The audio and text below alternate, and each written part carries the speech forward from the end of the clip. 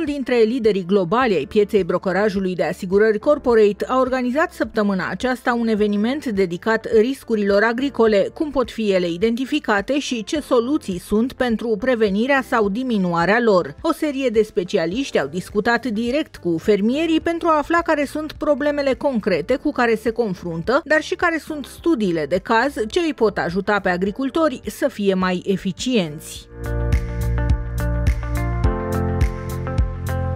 Am prezentat astăzi uh, cele două mari linii care există deja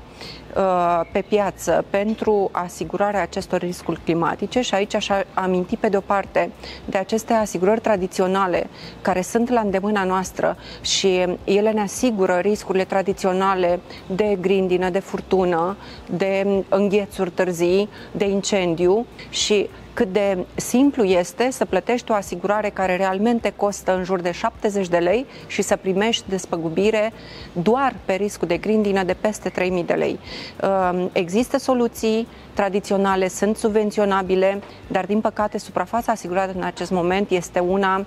inadmisibil de mică, se asigură cam 2,5 milioane de hectare din cele peste 9 milioane de hectare de asigurat. În paralel cu aceste asigurări,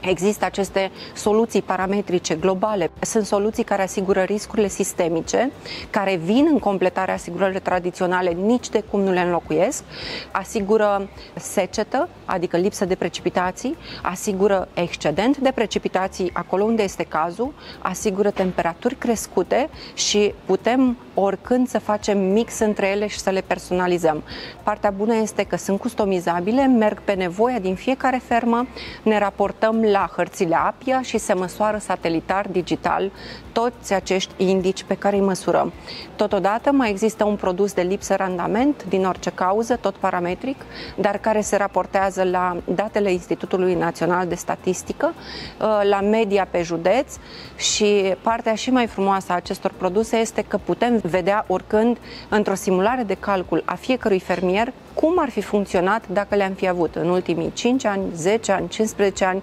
fiind date, practic este vorba de un calcul matematic și oricând putem să vedem câtă eficiență ar fi avut în ferma noastră. Piața asigurărilor agricole din România este în plină dezvoltare, însă majoritatea celor care aleg să își protejeze culturile sunt exploatații mari, capitalizate. Este nevoie ca și fermierii mici să înțeleagă utilitatea unei polițe de asigurări, iar aici chiar statul poate juca un rol important oferim acest gen de, de serviciu, de, de consultanță în care împreună cu fermierul cuantificăm riscurile și apoi împreună cu asigurătorii căutăm cea mai bună soluție, urmând ca fermierul să ia acea decizie care îi se potrivește cel mai bine pe buget, îi se potrivește cel mai bine pe, pe riscuri și uh, care până la urmă îi aduce cel mai mare beneficiu la finalul unui sezon. Credem că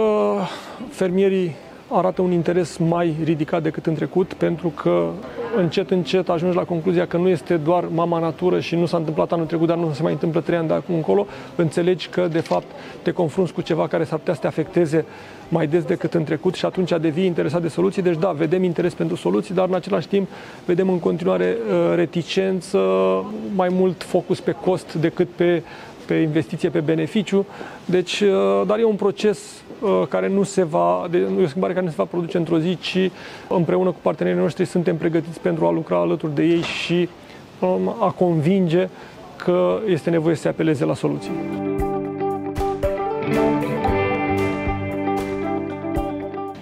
Soluțiile pe care le-am văzut prezentate astăzi sunt bune, sunt uh, soluții uh, utilizate pe scară largă la nivel internațional. Sunt soluții în general scumpe, nu orice fermă și le poate permite. Sunt mai degrabă la îndemâna fermelor mari, fermelor capitalizate. Este nevoie de un sistem, o abordare mult mai complexă, de un transfer al riscului prin reasigurare, de o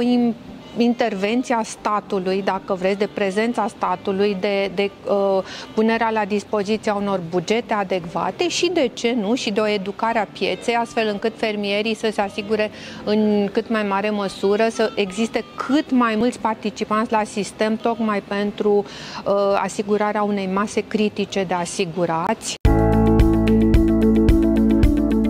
mai important pas pentru gestionarea riscurilor agricole este identificarea lor. Fermierii trebuie să conștientizeze că sunt tot mai expuși fenomenelor periculoase precum grindina sau seceta, iar dacă la nivelul exploatației nu pot gestiona aceste riscuri, există specialiști care le vin în ajutor. Am lucrat cu sala formată din agricultori și profesioniști din agribusiness la o identificare și mapare a riscurilor agricole specifice din uh, cultura mare din uh, România. Făcând această hartă de risc, am putut să uh, punem punctul pe I și să atragem atenția agricultorilor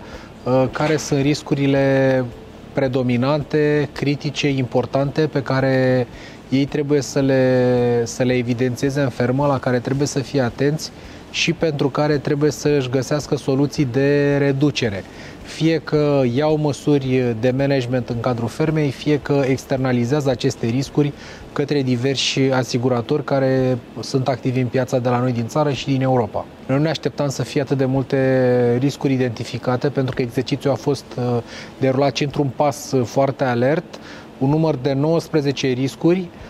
cele mai uh, grave și cele mai convergente sunt uh, seceta atât pedologică cât și arșița atmosferică, volatilitatea prețurilor materiilor prime agricole și, în ultimul rând,